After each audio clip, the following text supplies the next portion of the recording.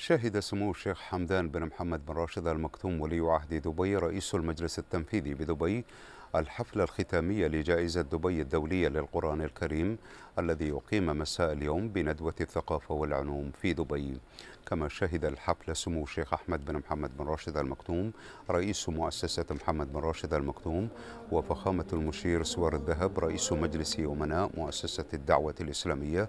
وسعادة المستشار إبراهيم محمد بوملحة رئيس اللجنة المنظمة للجائزة ومديرو وممثل الدوائر المحلية والمؤسسات والهيئات الراعية لفعاليات الجائزة وأعضاء السلك القنصلي.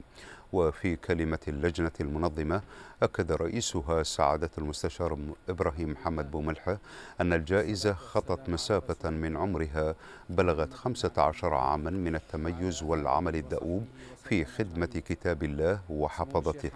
وتقديم كل ما من شأنه التشجيع على حفظ هذا الكتاب الكريم وتأصيل حبه في النفوس والتواصل معه في أجل وأجمل صورة من صور الانتماء إليه.